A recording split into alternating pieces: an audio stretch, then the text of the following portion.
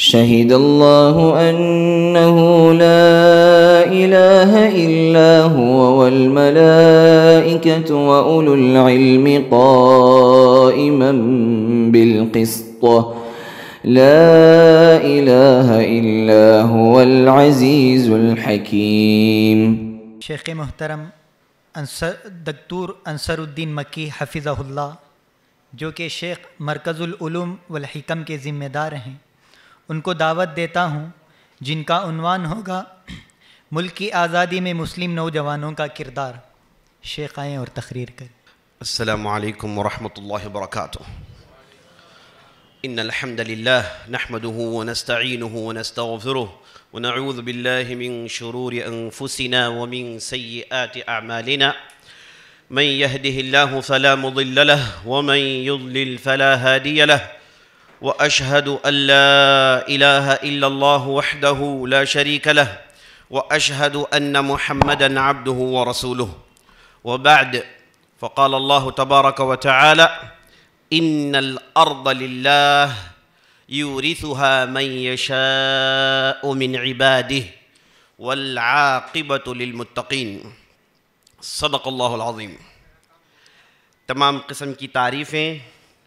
व बड़ाई, व बुज़ुर्गी अल्लाह रब्बुल आलमीन के लिए है, जो मालिक अर्ज़ समा है, खालिक कायनात है, मुदब्बिर हकीकी है, खालिक हकीकी है, मालिक हकीकी है।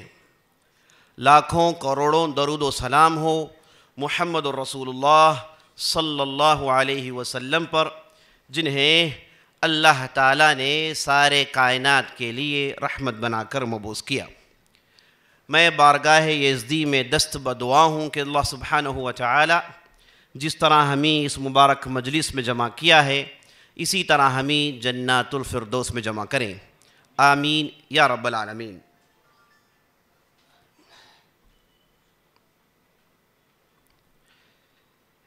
इसी तरह से एक प्रोग्राम चल रहा था। आप जैसे सामीन बैठ कर सुन रहे थे और स्टेज में मुकर्रीन हजरात जलवा अफरोज़ थे। जैसे ही तकरीरों का सिलसिला शुरू हुआ, लोग तकरीर सुनाते गए, लोगों ने तकरीर सुना। तो जैसे ही किसी एक मुकर्र ने अपनी बात ख़त्म की तो आवाम में से एक आदमी उठाया और सीधे उसने माइक थाम लिया। और मुकरीन हजरात ने समझा कि कुछ पैगाम देना चाहता है तो वो लोग खामोश रहे। अब ये साहब जैसे ही मैक थामे, उन्होंने इधर की बातें, उधर की बातें, ऐसी बातें सुनाई जिनका वहाँ से कोई ताल्लुक़ नहीं। और जब लोगों ने देखा कि साहब कुछ और ही सुना रहे हैं, अब लोग बिदकने लगे, बेकरार होने लगे, और उसके बाद कहा कि भाई हटाओ इसे, ये क्या सुना रहा है? तो उसके बाद उसमें आखिर में उसने कहा कि मैंने जानबूझकर ये हरकत इसलिए की ताकि आप लोगों को मालूम हो, मुकरीन हजरात को मालूम हो, बोलना बड़ा आसान है। बोलना बड़ा आसान है, लेकिन बैठ कर सुनना है ना, ये बहुत ही मुश्किल तरीन चीज़ है कि आदमी घंटों बैठा रहे और बातें सुनता जाए सुनता जाए, मुख्तलिफ़ लबो लहजे, मुख्तलिफ़ ज़बानें, मुख्तलिफ़ तरीक़े, मुख्तलिफ़ असालीब आदमी सुनता रहता है। इसलिए आप हजरात मुबारकबाद के काबिल हो। माशाल्लाह तबारकल्ला आप लोग पता नहीं, चार घंटे से सिलसिला शुरू हुआ था और आप लोग बैठकर सुनते जा रहे हैं, सुनते जा रहे हैं। अल्हम्दुलिल्लाह। तो कोई आसान काम नहीं है सुनना। बोलना आसान है। बास हजरात कहते हैं मौली साहब, आपने बिल्कुल सही बात बताई। लाओ दो मुझे मैक बताता हूँ कैसे बोलना है। है ना? बास चेहरे ये भी कह रहे हैं और बास चेहरे ये भी कह रहे हैं कि, भाई बड़ा बोलने आगे नो देखेंगे इनो कैच बोलते आज? है ना? ऐसे भी सोचने वाले, माशाल्लाह तबारकल्ला मजलिस में मौजूद हैं। अज़ीज़ साथियों, मैं इस वक्त काफ़ी खुश हूँ, क्योंकि योम आज़ादी के इस मौके पर एक बेहतरीन तकरीरों का सिलसिला, उसका इनका किया गया माशा तबारकल्ला अभी मैं इस मौजू पर आऊँगा, तफसीली गुफ्तु करूँगा। और मैं थोड़ा गमगीन भी हूँ। वो गमगीन इसलिए कि हमारे साथ आम तौर पर मुकर्रीन जो हम तकरीर, हम बयान रहे, हाफिज़ जावेद उस्मान रब्बानी साहब, वो आज हमारे दरमियान नहीं रहे, उनका इंतकाल पुरमलाल हो गया। तो मैं इस मौके पर उन्हें याद करता हूँ और उनके हक़ में दुआ करता हूँ कि अल्लाह सुबहान ताली उन्हें जन्नात में बुलंद मरतबा अता करे। वो ऐसे तकरीरों में ऐसे नशस्तों में आगे आगे रहते थे, इसलाही कामों में आगे आगे रहते थे और तकरीर करना, शोला बयानी गोया कि वो अपने साथ लेकर पैदा हुए थे और कई लोगों को उन्होंने अपनी तकरीरों के ज़रिए से मुतासर किया और उन्हें राह रास्त में डाला। अल्लाह सुबहाना ताली उनके गुनाहों को माफ़ करे जन्नतुलफरदोस में उन्हें बुलंद मकाम अता करे। आमीन या रब्बल आलमीन। अज़ीज़ साथियों मेरा मौजू है योम आज़ादी। आज़ादी में नौजवानों का किरदार। चलिए मैं आपको एक वाक़ सुनाता हूँ। 1820-30 के आसपास का वाक़ है। ये कश्ती समंदर में चल रही है। उसका रुख है इस बार अंडोमान की तरफ़। उस कश्ती में जहाँ ढेर सारे साजो सामान थे, वहाँ पर इंसान भी थे। जैसे सामान को लदाया गया, वैसे इंसानों को भी लदाया गया। अब जो ये इंसान थे, इन लोगों की हालत ये है कि सबों को बेड़ियों से जगड़ दिया गया है। आहनी जंजीरों से इन्हें जगड़ दिया गया है, जिन्हें वो उठाकर चल नहीं सकते।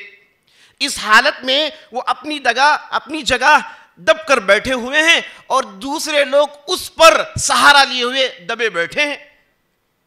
जहाँ पर चंद लोगों का इंतज़ाम है, वहाँ पर सौओं को ठोस दिया गया है। अब जो हजरात जंजीरों को झेल कर तड़पड़ी खा रहे हैं, चीखो पुकार उनकी सिस्कियाँ निकल रही हैं उनका आलम यह है कि उनमें से अक्सर व बेशतर वहीं कज़ाए हाजत कर रहे हैं, वहीं अपनी ज़रूरियात पूरी कर रहे हैं और जब नमाज़ का वक्त आता है तयम की नीयत करके उसी हालत में नमाज़ अदा कर रहे हैं तो आप अंदाज़ा लगा लें कि ये कैसा मौका रहा होगा और कैसी कैसी हालात से वो गुजर रहे होंगे। मैंने आपके सामने इस छोटे से वाक्य को इसलिए नकल किया कि इस वाक्य को लिखने वाले मौलाना अब्दुलरहीम सादिक पूरी साहब हैं और इस भीड़ में अक्सर व बेशतर उलमा थे। उनमें से काबिल एहतराम एक बहुत बड़े आलिम गुजरे हैं, जिनका नाम यहिया अली अजीमाबादी। ये कश्ती जो जा रही है, इसमें जो उलमा को लगाया गया है, ये वो उलमा थे जिन्होंने अंग्रेज़ों के खिलाफ आवाज़ उठाया। आज़ादी की बात की और अंग्रेज़ों से कहा कि तुम लोग इस बस्ती के नहीं हो, इस मुल्क के नहीं हो, तुम लोग इधर आए हो इस बस्ती को लूटने के लिए और तुम आए हो, तुम्हारा टारगेट इस्लाम और मुसलमान है। तुम चाहते हो कि इस्लाम के ताज और ताराख को बर्बाद कर दे यह तुम्हारा मकसद है। अहले इल्म ने, उलमा ने अंग्रेज़ों के खिलाफ सबसे पहले आवाज़ दिया। याद रख लीजिए, आज़ादी के लिए, हिंदुस्तान की आज़ादी के लिए मुसलमानों ने भी मेहनत की, गैर मुसलमानों ने भी मेहनत की। इसमें कोई दो राय नहीं है। लेकिन सबसे पहले अंग्रेज़ों की साजिशों को समझने वाले, अंग्रेज़ों को आस्तीन का सांप भांपने वाले, याद रख लीजिए, वो थे मुसलमान। ये मुसलमान, इन्होंने सबसे पहले अंग्रेज़ों से कहा कि तुझे इस मुल्क को छोड़ना है। तेरा इस मुल्क को तरक्की करने का कोई मकसद नहीं तो इस मुल्क को लूटना चाहता है। और अंग्रेज़ ने इस मुल्क को जिस अंदाज से लूटा, और इस मुल्क के जितने खजाने थे, ये जो मुल्क, जो सोना उगलती थी, इस मुल्क को अंग्रेज़ ने इतना लूटा इतना लूटा, आज भी यूके का जो पाउंड है, वो क्या वैल्यू है आप जानते हैं? ये सारा माल उसने अपने पास मुंतकल कर लिया। सारी दौलत वो अपने पास ले गया। अब उसने अपने मुल्क को आगे कर लिया। याद रख लीजिए, आज भी इंग्लैंड के अंदर जो तरक्की है, उनके यहाँ जो मालदारी है, इसके पीछे हिंदुस्तान का लूटा हुआ माल है, याद रख लीजिए। तो सबसे पहले अंग्रेज़ों के खिलाफ आवाज़ उठाने वाले मुसलमान थे, अज़ीज़ साथियों। आज़ादी की लड़ाई अठारह से शुरू नहीं हुई। आमतौर पर जो कहा जाता है कि आज़ादी की लड़ाई सौ साल की लड़ाई है, अठारह से लड़ाई शुरू हुई, सौ साल तक लोग लड़ते रहे, बाद में आज़ादी हुई।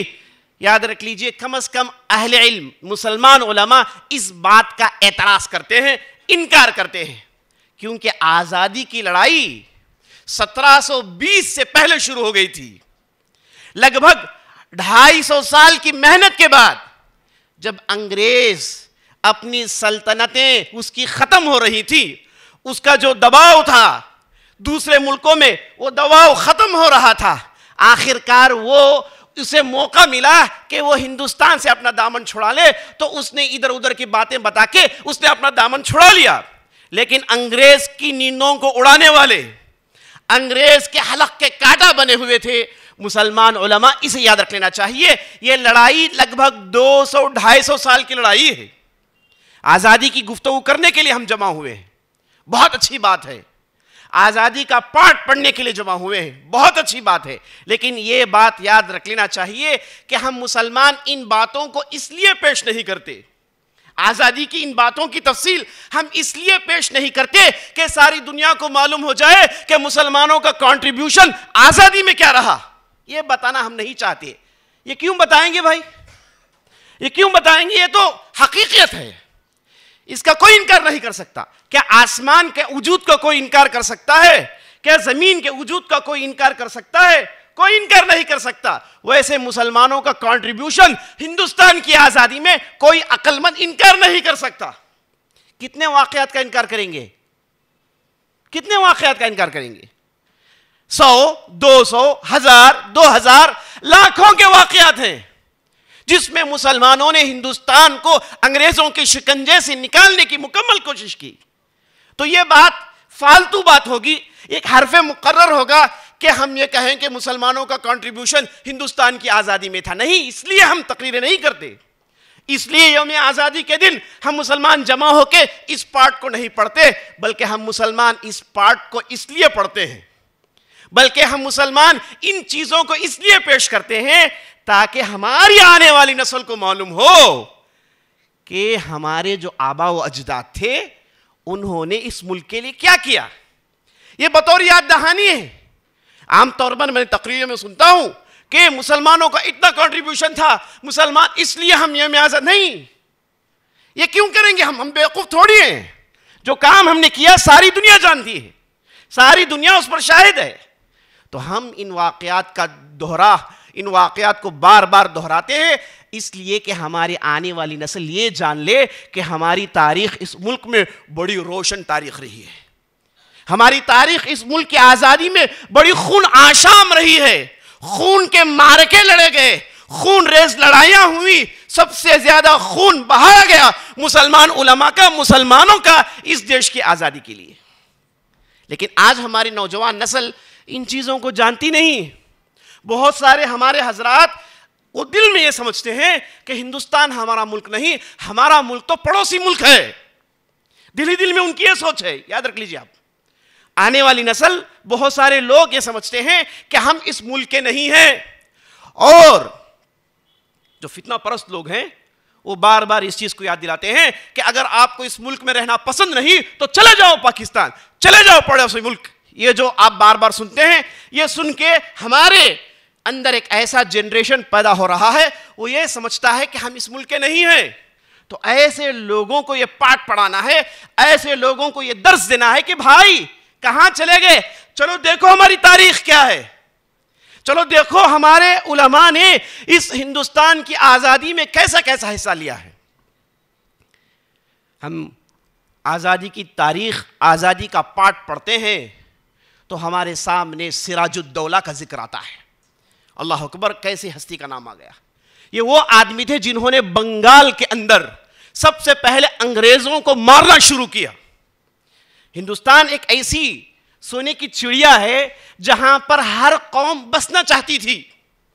जो भी कौम आई बसी, अरब आए बस गए, अफगान आए बस गए फटान आए बस गए, फारसी आए बस गए लेकिन याद रख लीजिए, मुसलमानों का आना और बसना ये बिल्कुल अलग चीज़ है। उससे जिसमें यूरोपियन आकर बसना चाहते थे आए, हिंदुस्तान में पोर्चुगीज भी आए, स्पेनिश भी आए और ब्रिटिश भी आए। लेकिन ये जो यूरोपियंस थे, इनके लिए एक लफ्ज इस्तेमाल करना चाहिए, जो कि सरीह इन पर उसका इंतबाक होता है, वो ये कि ये लुटेरे थे। जिन्हें पायरेट्स कहा जाता है, ये सरीह लुटेरे थे। क्योंकि मुसलमान आए तो उन्होंने क्या किया? मुसलमान आए तो उन्होंने क्या किया? अरब आए, अरब 200 साल हिंदुस्तान की सरजमीन में उन्होंने मेहनत की। उसके बाद फटान आए, उसके बाद अफगान आए, उसके बाद पर्शियन आए, उसके बाद मुगल आए। ये लोग कहाँ गए? इन लोगों ने इस मुल्क की तरक्की की, इस मुल्क को चार चाँद लगाए। इस मुल्क को सारी दुनिया में सबसे बेहतरीन मुल्क बनाया। याद रख लीजिए, आज़ादी से पहले, आज़ादी से पहले जब मुगलों का आखिरी चिराग डूब रहा था, तब भी हिंदुस्तान सारी दुनिया में बेहतरीन मुल्क था। उस वक्त का आप डॉलर रेट चेक कर लीजिए, अब डॉलर रेट चेक कर लीजिए, आपको मालूम हो जाएगा कि यहाँ के फाइनेंस में कितनी तरक्की थी। आज़ादी के दौरान एक रुपया पचहत्तर डॉलर था। आज एक डॉलर अस्सी रुपया है। आज़ादी के बाद यहाँ पर जब मुसलमानों की कर्म फरमाइयाँ खत्म हो गई तो आपने देख लिया कि क्या तरक्की के चाँद इन लोगों ने लगाए जब मुसलमानों की यहाँ हुकूमत थी, मुगलों ने साढ़े तीन सौ साल हुकूमत की। कितने साल? साढ़े तीन सौ साल हुकूमत की। और आज तक हिंदुस्तान की शान, जो मुनवर इमारतें हम देखते हैं खूबसूरत तरीन इमारतें हम जो देखते हैं, याद रख लीजिए, ये मुगलों की देन है। आज भी हमारे प्रधानमंत्री जिनका सीना इस्लामी दुश्मन से भट्टी बना हुआ है है ना? इतनी मुनाफकत के मुसलमानों के पास जाते हैं तो कहते हैं कि हम ईद मनाते हैं। हमारे घरों में ईद की शीरीनें आती थी, और जाते हैं उन इलाकों में जहाँ पर इन्हें ओंट नहीं मिलेगा, वहाँ पर कहते हैं कि मुसलमान वो है जिनके बारह बच्चे होते हैं। मुसलमान वो हैं कि जो हिंदुस्तान के फाइनेंस में बोझ है। शर्म नहीं आती, ऐसे प्रधानमंत्रियों का तो कोई हिसाब नहीं है। ऐसी हुकूमतें नहीं हुई हमारे पास। ये जो लाल किले में ठहर कर जो प्रधानमंत्री बोलते हैं, इन्हें चाहना जानना चाहिए कि ये कहाँ ठहरे हुए लाल किले को किसने बनाया? ये जो सारे हिंदुस्तान की शान ताजमहल, इसे किसने बनाया? कुतुब मीनार का नाम लेते हैं, इसे किसने बनाया? आप सारे हिंदुस्तान में घूम कर देख लीजिए, जहाँ कहीं भी जाएँगे, आपको इस्लामी आसार नुमाया नज़र आएँगे। कोई इनकार नहीं कर सकता, अल्लाह अकबर। हिंदुस्तान को सोने का चिड़िया बनाया मुगलों ने, याद रख लीजिए आप। अंग्रेज़ आए, ये तो सरीह लुटेरे थे। इन्होंने तो हिंदुस्तान को लूटा। तो मुसलमानों को कम अज कम ये देखकर नहीं कहा जा सकता कि तुम लोग घुसभैठी हो, तुम लोग वहाँ से आए हो तुम पराए मुल्क से आए हो यह मुसलमानों को कहने के लिए इनके अंदर औकात नहीं है। क्योंकि 800 साल की तारीख, ये बताती है कि तुम्हारे जबानों को अपने मुँह में निगल लो। तुम मुसलमानों के खिलाफ बोलने की औकात नहीं रखते। कैसे औकात हो सकती है? औकात कहाँ से होगी? इनके जो सरदार हैं, जिनका नाम था सरवारकर, पता है उन्होंने क्या किया है? मैंने जो कश्ती का जो वाक्य सुनाया है, इस सजा को कहते हैं काला पानी का सजा। क्या सजा है? काले पानी की सजा। इसे अंग्रेज़ दिया करता था उन लोगों को जो उसकी हुकूमत के खिलाफ आवाज़ उठाए। और मुसलमान उलमा ने इस सजा को बड़े बड़े दिल जिगरे के साथ अपनाया। अली सादिकपुरी साहब, जिनका मैंने आपके सामने ज़िक्र किया। और उसके बाद उलमाए सादिकपुर की तारीख तो एक मुस्तकिल तारीख है, उस पर अभी मैं आऊँगा। तो ये उलमा जो थे, जिन्होंने काले पानी की सजा को दिल से लगाया और ऐसी ऐसी मशक्क़तें कि वो रोज़ाना उनके पेशाब से खून निकलता था, उनके आँसू सड़ जाते थे, कान किसी का काम नहीं करता, हाथ किसी का काम नहीं करता, किसी के मुँह के दान छड़ गए हैं। ऐसी खतरनाक सजा होती थी। जब मीर सरवारकर को अंग्रेज़ों ने कहा कि भाई, हम तुम्हें काले पानी के सजा में डाल रहे हैं तो साहब के पित्ते पानी में हो गए। है ना? जो बड़ी बड़ी बातें थी, जैसे ही सजा का ऐलान हुआ, ये साहब ने तो भीख मांगने में आफियत समझी। अंग्रेज़ों के सरदार को इन्होंने तीन तीन खत लिखे और खत में कहा कि मैं आपसे माफ़ी माँगता हूँ, आइंदा कभी ऐसे शब्द मेरे मुँह से नहीं निकलेंगे। और उन्होंने उन खतूत में यह भी अंग्रेज़ को सुनाया कि मैं आपका हमेशा तरफदार रहूँगा। आपकी हुकूमत के खिलाफ कुछ नहीं कहूँगा। बाद में अंग्रेज़ों ने इससे इस सजा को हटाया। और आपको मालूम हुआ कि इन लोगों ने क्या किया? इन लोगों ने गांधी जी को मारा गोली। सारी दुनिया जानती है, गांधी जी को गोली मारने वाले यही नट्टूराम गोडसे है, जिसने बराहे रात सामने सीधे सीधे उसने सीने में गोलियों को खोप दिया। सारी दुनिया जानती है, ये कौन थे साहब? इनकी कैसी औकात बनती है कि मुसलमानों से कहे कि भाई तुम्हारे क्या कॉन्ट्रीब्यूशन थे? और ये कहा जाता है कि मुसलमान वो हैं जिन्होंने बिहार में जो नालंदा यूनिवर्सिटी है, उसे ढाने वाले मुसलमान थे। ए जाहिलो, तुमने तारीख पढ़ी है कि नहीं पढ़ी है? नालंदा यूनिवर्सिटी बहुत बड़ी यूनिवर्सिटी थी। बुद्धि मज़हब, बुद्धि अकायद का नुमाइंदा था ये। सही बात है यूनिवर्सिटी लेकिन ढाने वाले मुसलमान नहीं, ढाने वाले नालंदा। ढाले वाले नंदा डायनेस्टी के वो लोग थे जो निरे ब्राह्मण थे। जो लोग निरे ब्राह्मण थे। अभी अनकरीब मैंने न्यूज़पेपर में पढ़ा कि नालंदा यूनिवर्सिटी को ढाने वाले मुसलमान थे। जाके तारीख देखें, इसे ढाने वाले निरे ब्राह्मण थे। ब्राह्मणों को, बुद्धों को होता नहीं। दोनों के दरमियान ऐसी लड़ाइयाँ हुई, ऐसे खून रेस लड़ाइयाँ हुए, तारीख के औराक लाल आज तक पड़े हुए हैं। तो जी साथियों, हिंदुस्तान की आज़ाद आज़ादी की जो लड़ाई लगभग 200 साल से लड़ी जा रही है। उसके बाद जिस शख्स का ज़िक्र, जिस नौजवान का ज़िक्र आपके सामने आना है, वो है टीपू सुल्तान रहमतुल्लाह शेर मैसूर, सल्तनत खुदादाद के बादशाह। पता है, इनकी वफात 48 साल में हुई। 48 की एज सी वफात पा गए। 18 जबानों के माहिर थे। 40 किताबें इन्होंने लिखी। उसके साथ साथ मैसूर स्टेट की ज़बरदस्त तरक्की की उन्होंने। गैर मामूली आदमी थे।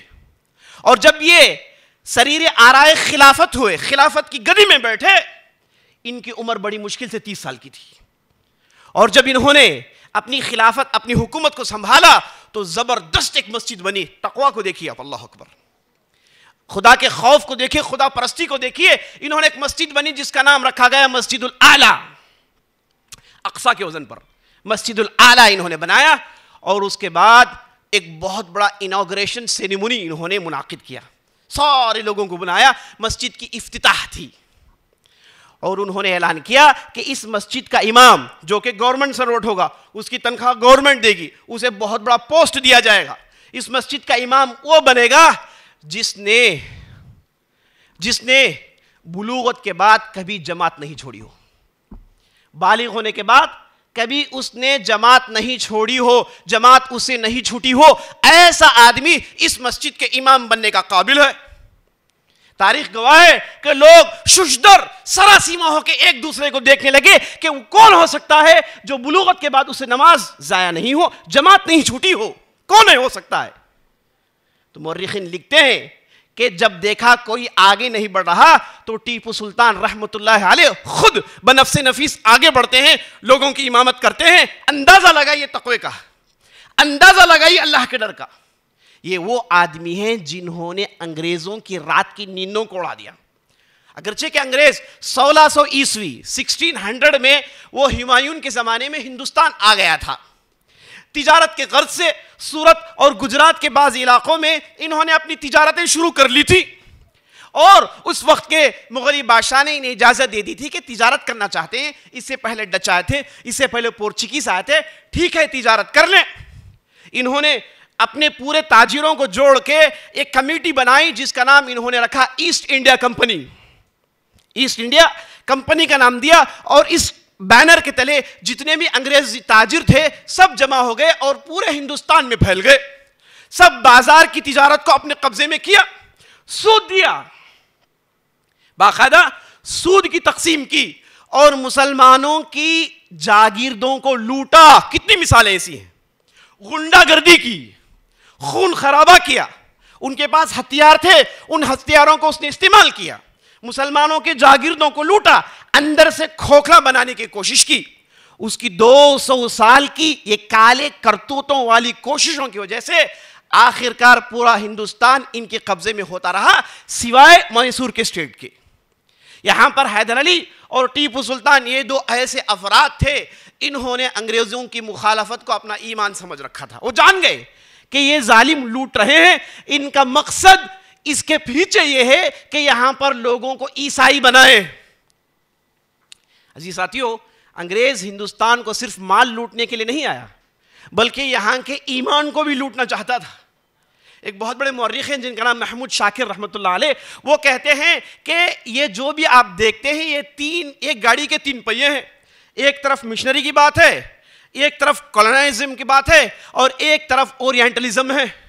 ये तीन लेकर जाते हैं, पहले ज़मीन हड़पते हैं, बाद में लोगों के ईमान को हड़पते हैं। ये जो आपका मद्रास है अब जाइए, देखिए, बड़े बड़े शाहराहों में, बड़े बड़े इलाकों में, इनकी छोटी छोटी स्कूल कई एकड़ों में मुश्तमिल है। है कि नहीं? मामली सी मामली स्कूल इनकी कई एकड़ों में मुश्तमिल है। अब हमारा मामला यह है कि हम एक ठीक से स्कूल नहीं खोल पा रहे हैं। अगर कोई किसी ने खोल लिया तो इतना फ़ीस रखा कि सिर्फ़ मालदार आ सकते हैं, गरीब वही सड़ रहे हैं। आपने कुछ नया किया नहीं। आपने तो कमाया है। आपने दीन का नाम लिया मुसलमानों का नाम लिया तोहहीद का नाम लिया, आपने फ़ीस की पत्तियाँ काट काट के अपना बैंक बैलेंस भरा है। ये अलग मौजू है। तो मैं बता ये रहा था कि ये जो आप देखते हैं, इतनी इतनी बड़ी जमीनें, इतने बड़े बड़े कलेसा, इतने बड़े बड़े चर्चस ये जमीनें किसकी हैं? जानते हैं आप? याद रख लीजिए, ये जमीनें हमारी आबा व अजदाद की वक्फ की हुई जमीनें हैं। ये हमारे आबा व अजदाद की वक्फ की हुई जमीनें हैं। इनमें अंग्रेज़ ने बाकायदा डॉक्यूमेंट्स को बदला, नए डॉक्यूमेंट्स इश्यू किए और कहा कि ये चर्च के लिए वफ कर दिया गया है। याद रख लीजिए, ये सारे के सारे मुसलमान उनके किए हुए अवकाफ हैं। और आज अवकाफ के ताल्लुक से जो चल रहा है, क्या कोशिश नहीं कर रहे हैं? जानते हैं कि ये अवकाफ हिंदुस्तान में सबसे ज़्यादा मुसलमानों का है। अगर मुसलमान दुरुस्त हो जाएँ इन औकाफ के लैंड्स को ठीक से देख लें तो इतना ही काफ़ी है। एक मुसलमान बच्चा गरीब नहीं होगा। सिर्फ़ इन लैंड्स को जोड़ के इसका ठीक से एडमिनिस्ट्रेशन कर लें एक गरीब बच्चा मुसलमानों में नहीं होगा। किसी को कोई दिक्कत नहीं होगी, सब मालदार होंगे। जानते हैं कितने एकड़, कितने गाँव हैं जो पूरे के पूरे वफ किए हुए हैं। अब ये दुश्मन जानता है इसलिए उसने अपने उंगली को डालना कोशिश किया। अब वरगलाने की इसने कोशिश की? चाहते हैं कि ये पूरे ज़मीनों को चंद सालों के बाद पूरे हिंदू अवकाफ में तकसीम कर ले। यही हकीकत है। आप चाहते हैं कि आपकी कमेटी में एक हिंदू को डाल लो? कल कहेंगे कि भाई ये जो हिंदू है, इनके साथ कोई दूसरा आएगा और उसके बाद अंदर से एक मसाइल खेल के, गेम खेल के ये पूरे अवकाफ लैंड को हड़पना चाहते हैं। तो अज़ीज़ साथियों तो ये जो अंग्रेज़ आए, इन्होंने मुसलमानों के अवकाफ को बदला। वो ईमान को लूटने आए, यहाँ की ज़मीनों को लूटने आया, और टीपू सुल्तान रहमतुल्लाह अलैह, और उनके वालिद हैदर अली रहमतुल्लाह अलैह, इन दोनों ने इनके काली करतूतों को समझ लिया, और डट गए। एक तरफ़ मराठा उनके दुश्मन है, एक तरफ़ निज़ाम हैदराबाद उनका दुश्मन है, दूसरे मुसलमान ताकतें दुश्मन है, लेकिन इन तमाम ताकतों को छोड़ के ये दोनों वालिद और बेटे इस जालिम अंग्रेज़ के खिलाफ खड़े हो गए। और अंग्रेज़ को इतना परेशान किया, इतना परेशान किया, इतने लड़ाइयों में शिकस्त दी के तारीख भरी पड़ी हुई है। चार चार लड़ाइयाँ जिसमें अंग्रेज़ अपनी पूरी ताकत लगा दी, लेकिन टीपू सुल्तान को हरा नहीं पाए। बाद में गद्दारों को उन्होंने इंट्रोड्यूस किया, मीर जाफ़र को उन्होंने डाला, मीर सादिक को उन्होंने डाला। अब ये मुनाफिकीन ने अपनी मुनाफकत दिखाई और ये आस्तीन के सांपों ने पीछे से डसा तो टीपू सुल्तान रहमतुल्लाह अलैह शहीद कर दिए गए। सत्रह सौ निन्यानवे में सेवनटीन नाइनटी नाइन में।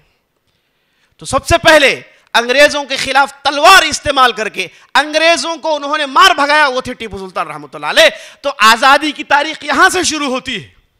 उसके बाद आप आगे बढ़िए, उसके बाद आप तहरीक आज़ादी, सैयद अहमद शहीद रहमतुल्लाह अलैह की शुरू करदा। इस तहरीक के बारे में जानिए ये ऐसी तहरीक है, इस पर मुस्तकिल दुरुस होने चाहिए, लेक्चर्स होने चाहिए कि अहमद शहीद रहमत ने कैसे अंग्रेज़ों का मुकाबला किया। जब अंग्रेज़ सारे हिंदुस्तान में हावी हो गए, टीपू सुल्तान को उसने ख़त्म कर लिया तो अहमद शहीद अलैह, जो शाह अब्दुल अज़ीज़ दहलवी के शागिर्द थे, और शाह अब्दुल अज़ीज़ के वालिद, जिनका नाम वलीउल्लाह है, जो हिंदुस्तान के बहुत बड़े इमाम गुजरे हैं तो शाह अब्दुल अज़ीज़ ने अपने शागिर्दों के दरमियान, उनके अंदर आज़ादी की रूह फूंकी तो अहमद शहीद रहमतुल्लाह तैयार हुए। 18 साल की उम्र में उन्होंने तहरीक का ऐलान किया। क्या तहरीक क्या थी? कि जितने भी हिंदुस्तान में मुसलमान हैं, सब इस तहरीक से जुड़ जाए। इस तहरीक का मकसद हिंदुस्तान में अंग्रेज़ों को खत्म करना है। बाकायदा जिहाद का ऐलान किया गया। और सारे हिंदुस्तान के मुसलमान इनके पीछे पड़ गए। कहा जाता है, एक दिन में तीस लाख लोग इनकी तहरीक को मान गए थे। इतनी बड़ी तहरीक, इतनी बड़ी ताकत उन्होंने लगाई और आखिरकार शहीद कर दिए गए। सिखों के हाथों में शहीद कर दिए गए। मुनाफिकीन ने इन्हें ख़त्म किया। ये वो ज़माना था जब अंग्रेज़ ने सबसे पहले वहाबी का लफ्ज़ कॉइन किया। देखा कि अहमद शहीद रहमत इन्होंने जब आज़ादी की बांग भूकी तो उन्होंने महसूस किया कि उम्मत मुस्लिमा सड़ रही है। उम्मत मुस्लिमा के अंदर शिर को बिदात इतनी बेहतात मकदार में है कि ये जब तक बाहर निकलेंगे, ख़त्म कर दिए जाएँगे। तो सबसे पहले इनके अंदर कुफर शिर को ख़त्म किया जाए, गैर ज़रूरी रसूमात को ख़त्म किया जाए, बिदात को ख़त्म किया जाए, इसके लिए इन्होंने बहुत मेहनत की। कौन? अहमद शहीद अलैह। और उन्होंने बाकायदा अंग्रेज़ों के खिलाफ लड़ने के लिए हथियार इस्तेमाल किया। और उनके पास ढेर सारे डिपार्टमेंट्स थे। हम में से कितने नौजवान हैं जो इस तारीख को जानते हैं? इनके कारनामों को जानते हैं, इनकी कितनी मेहनत ही से क्या जानते हैं? अल्लाह अकबर। इन्होंने दो अफराद को तैयार किया। एक थे मौलाना विलायत अली, अजीम आबादी रहमतुल्लाह अलैह, और दूसरे थे मोहम्मद अली रामपुरी रहमतुल्लाह अलैह। ये दोनों को इन्होंने कहा कि आप सारे हिंदुस्तान में घूमो और ये दावत तबलीग करो कि शिर ख़त्म किया जाए, बिदात ख़त्म किया जाए। ये वो ज़माना था जब इस्माइल शहीद रहमतुल्लाह अलैह ने तकवीतुल ईमान नामी ये किताब लिखी, जो बहुत ही मारकतुल आरा किताब थी। इस किताब ने इतनी तब्दीलियाँ लाई कि एक मुस्तकिल मौजू बन जाएगा। तो ये जो विलायत अली, जिनका मैंने ज़िक्र किया, ये सादिकपुर से इनका ताल्लुक था, जिन्हें उलमाए सादिकपुर कहते हैं, जो मनहजुसरफ में थे। अहमद शहीद अलैह जब वो वफात पाए तो उनके जान नशीन बनते हैं विलायत अली रहमतुल्लाह अलैह। वो उसके बाद उनके जगह लेते हैं। ये कौन थे? ये नहजुसलफ अहलुल हदीस को मानने वाले थे। इनका ताल्लुक बिहार पटना से था, जहाँ पर एक इलाका पड़ता है जिसका नाम सादिकपुर है। इस सादिकपुर के ताल्लुक से पता है नेहरू ने क्या कहा? नेहरू ने पता है क्या कहा? नेहरू ने कहा, सारे आज़ादी की मेहनतों को एक पलड़े में डालिए, दूसरे पलड़े में उलमाए सादिकपुर की मेहनत डालिए। याद रख लीजिए, उलमाए सादिकपुर की मेहनत भारी साबित होगी। सारे लोगों की मेहनतें कमतर साबित होंगी खफीफतर साबित होंगी। ये कहने वाले नेहरू हैं तो अंदाज़ा लगा लीजिए, इसके उलमाए सादिकपुर ने कितनी मेहनत की। उलमाए सादिकपुर का नाम कौन जानते हैं? विलायत अली को कौन जानते हैं? इनायत अली को कौन जानते हैं? फराहत हुसैन को कौन जानते हैं? अब्दुल्ला गाजी को कौन जानते हैं? अब्दुल रहीम सादिकपुरी को कौन जानते हैं? अब्दुल अजीम अब्दुल अजीम अजीम आबादी को कितने लोग जानते हैं? अल्लाह अकबर यहिया अली, जिनका मैं ज़िक्र कर रहा था, इन्हें कितने लोग जानते हैं? जिन्होंने एक मुस्तकिल किताब लिखा, जिसका नाम था काला पानी। और उन्होंने चालीस साल जो मशक्क़त झेली काले पानी में, उसकी पूरी तफसील उन्होंने बताई। उसमें से एक वाक़े को मैंने आपके सामने रखा। तो ये उलमाए सादिकपुर जो मनहजुसलफ में थे, अहलुल हदीस थे इन्होंने अहमद शहीद की उस तहरीक को आगे बढ़ाया। हम में से कितने लोग जानते हैं? अच्छा मैं आपके सामने मोहम्मद अली रामपुरी का ज़िक्र किया। एक बात बता के अपनी बात खत्म कर देता हूँ।